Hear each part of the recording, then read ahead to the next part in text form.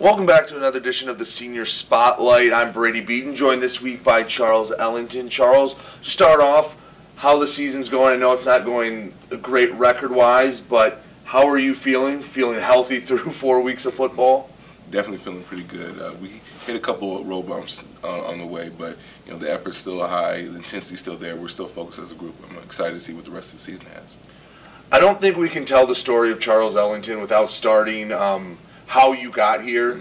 It was a very weird set of circumstances. There aren't too many people, you know, when you sign that national letter of intent. I know the transfer portal is big now, but you, you expect you sign that letter of intent, and four to five years later, you get your degree, you're done there. Mm-hmm. You went to Malone, and for those that don't know, they canceled the football program while you were there. What was that experience like going into an off season, getting ready for another year, and then you just the program's dead? and you had to find a new home. What was that whole experience like? It was a complete shakeup. No one was expecting it, not even the coaching staff. I remember um, we had just finished the, the 2018 season, going into the off season, and uh, everything was uh, firing on all cylinders. And then one random Friday morning, we were all called into the, the football offices around 6 a.m.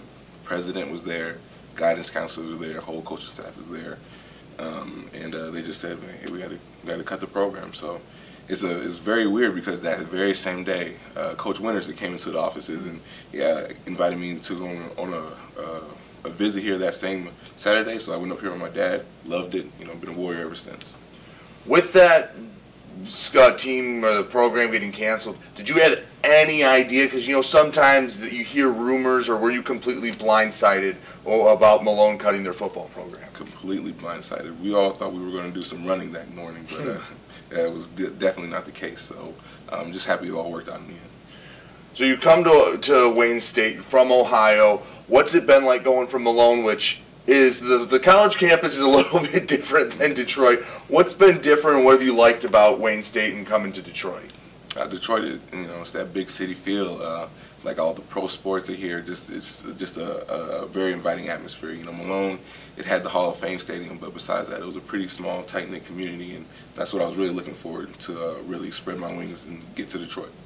Well, you mentioned a tight knit community. It's kind of funny because Wayne State is a big campus. They have a lot of of students, especially in the undergrad, but it feels like athletics is its own little tight knit community. It's I don't want to say it's separate, but there there's a little something special, and I think there's that's true at most colleges.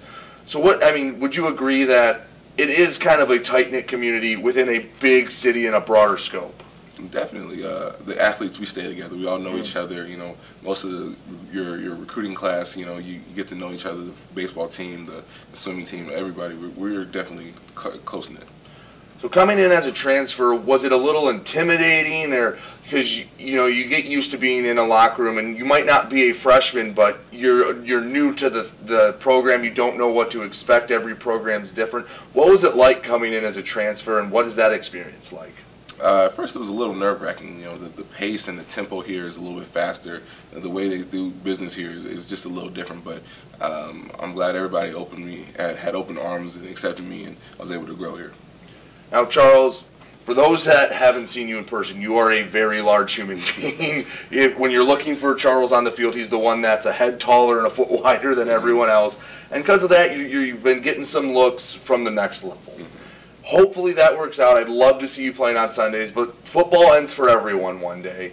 What is Charles Ellington going to do when football isn't in his future and when you have to go and, and leave the sports realm and go into, I guess, the real world?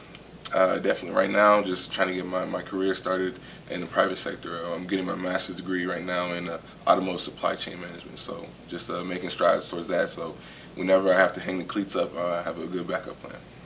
Now, when you do hang the cleats up, do you want to stay near Detroit? Do you want to go back to Ohio, or is it just kind of wherever the wind takes you, and there's no plan for where you want to live after football's done?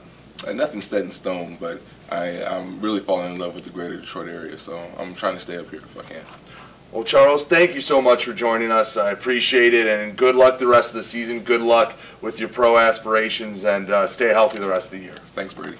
He's Charles Ellington. I'm Brady Beedon, and you're listening to WDTK, The Patriot.